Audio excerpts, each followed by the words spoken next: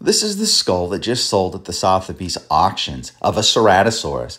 This is a juvenile individual.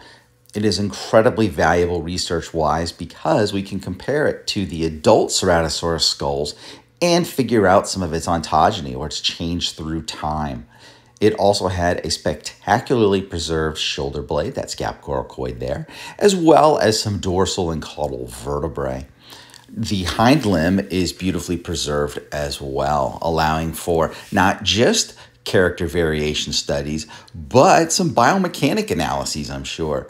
Ceratosaurus has a few skeletons, partial skeletons known, but they're from adults. So having a juvenile is unbelievably useful from a paleontological perspective. I hope the new buyers realize the treasure trove of information they're sitting on and that they CT scan this skeleton. And if you'd like some help, don't hesitate to reach out to me. I'd love to see this in the literature even more.